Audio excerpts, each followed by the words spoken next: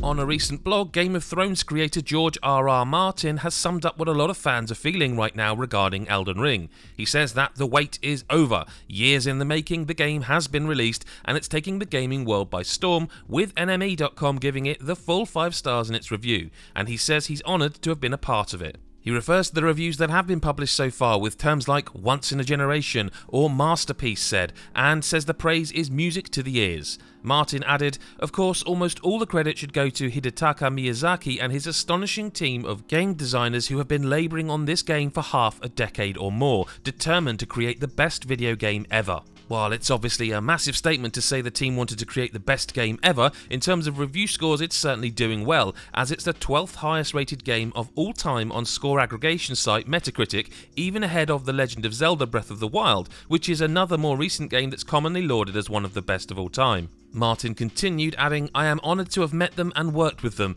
and to have played a part, however small, in creating this fantastic world and making Elden Ring the landmark mega hit that it is.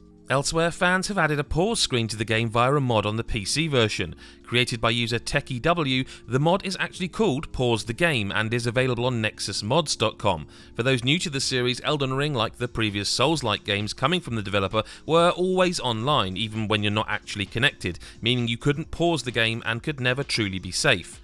To enable the mod, you have to disable easy anti-cheat and therefore you can only play offline, but it's already been downloaded over a thousand times since being released on February 27th.